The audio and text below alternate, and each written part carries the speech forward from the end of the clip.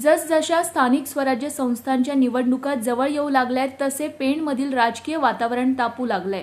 यामध्ये एका पक्षातील कार्यकर्ते दुसऱ्या पक्षात प्रवेश करतानाचे चित्र सध्या तालुक्यात पाहावयाला मिळतंय. पण अशा राजकारणाला शह देण्याचे काम भारतीय जनता पक्षाने केले असून भाजप जिल्हा उपाध्यक्ष वैकुंठ पाटील यांनी यशस्वी खेळी करत काही दिवसांपूर्वी राष्ट्रवादी काँग्रेसमध्ये गेलेले कार्यकर्ते पुन्हा स्वगृही परत आणले आहेत. वैकुंठ निवासस्थानी झालेल्या कार्यक्रमात अमित नवाळे प्रसाद वेदक सुभाष पेंडसे कैलाश ढाकोळ ओंकार ढाकोळ सुशांत पाटील नितेश पाटील विनोद म्हात्रे अनिल सावंत प्रतीक सुतार आदींसह कार्यकर्त्यांनी भाजपमध्ये प्रवेश केलाय. आमदार रविशेठ पाटील यांनी त्यांचे पक्षात स्वागत केले. या कार्यक्रमास भाजप कोकण कामगार संघटनेचे विनोद शहा भाजप जिल्हा उपाध्यक्ष वैकुंठ पाटील चिटणीस मिलिंद पाटील तालुकाध्यक्ष श्रीकांत पाटील युवा मोर्चा अध्यक्ष शिवाजी पाटील रविकांत म्हात्रे अशोक पाटील वासुदेव पाटील आदी उपस्थित होते.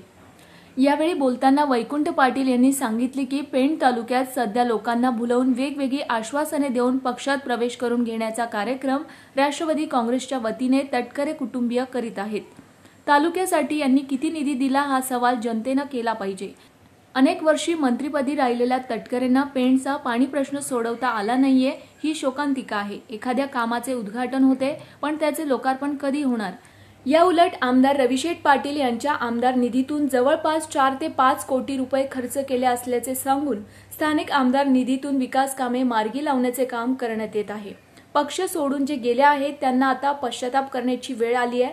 यामुळे विकास कामांच्या नावावर भूलपाता मारणाऱ्यांनी लक्षात ठेवावे की पेण तालुक्याचा विकास भारतीय जनता पक्षच करू शकते असेही वैकुंठ पाटील यांनी सांगितले.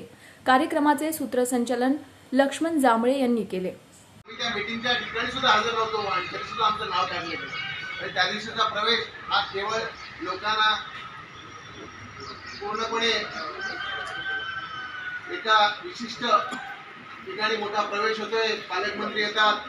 खासदार येतात आणि प्रवेश होते. पण प्रवेशाला ना लोक ती मनाने होती ना पूर्णपणे कुठल्या अंगाने त्या ठिकाणी गेली परंतु बोलायचं झालं तर तालुक्याच्या विकासासाठी आमदार साहेबांनी खूप मोठा निधी या ठिकाणी संपवलेला आहे. त्या ठिकाणी आपल्याला सांगतो की आमदार निधीच्या माध्यमातून जवळपास एक चार ते पाच कोटी रुपयाचा निधी आपण या दोन वर्षामध्ये खर्च केला आहे.